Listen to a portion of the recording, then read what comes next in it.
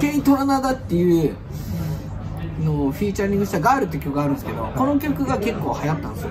2015年ですこの子のアルバムに入ってたっていう。まあ今誰が？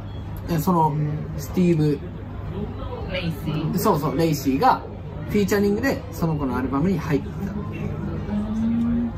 たそういう、うん、ちょっとメインの路線からちょっとずれてるんです。ちょっとコアなところにいるやつなんですよ。ゴールドリンク。ゴールドリンクっていうのも好きなんですけどゴールドリンクもフィーチャリングしてます。ねフィーチャリングされてるいいね。確かにこういう話してるとなんか音楽浴びたくなってきた ちょうどええねじゃあ明日行くやったっけ？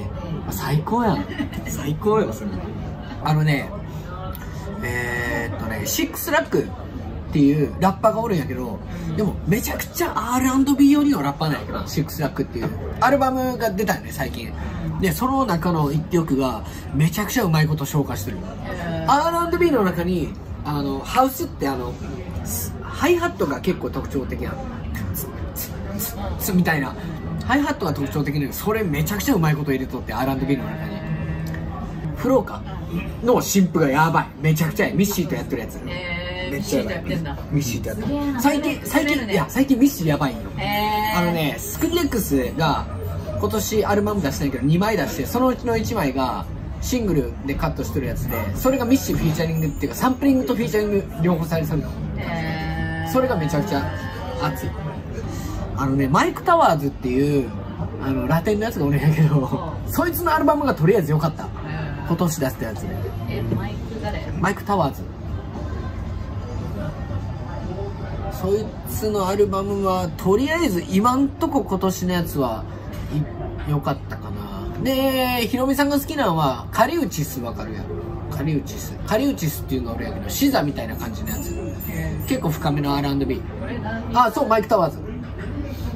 そのアルバム良かった。でカリウチスはヒロミさん大好きやと思う。カリウチス。ただちょっと深すぎるかも。シザの方がちょっとポップ。カリウチスあ女性なんだ。そう。でカリウチスのそう。